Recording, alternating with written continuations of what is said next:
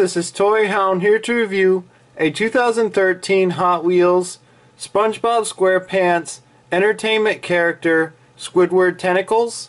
And here as you can see is the Hot Wheels Entertainment character Squidward Tentacles in uh, vehicle car form. And that's what the vehicle looks like on the top. Has kind of a hot rod look to it. There's the front of it.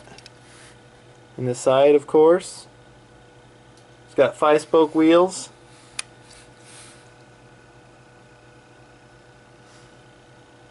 Nice engine detail. There's what the interior looks like. And it's got a plastic base. This part is plastic. This part is die-cast metal. That's plastic in the windshield area. And this is part of the interior. And that's what the back looks like. And just for fun, we'll compare it with this uh, vending machine figure that I got back in 2003 along with that one SpongeBob figure. Now you can see that's supposed to be the nose right there.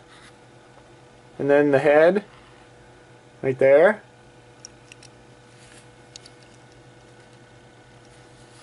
Here's what the back looks like.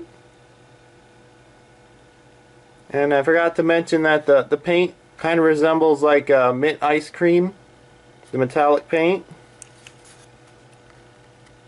Right there and even a little bit of his shirt color is right there in the back. And his eyes, that same red. And here's a quick comparison to uh, 2010 Hot Wheels Entertainment character Speedin' Stretch from the Toy Story series. They had a Toy Story series a couple years ago. And it kind of has that where the head and then the the engine part. And that's it. Be sure to thumbs up this video, comment down below, subscribe, and stay tuned for more reviews.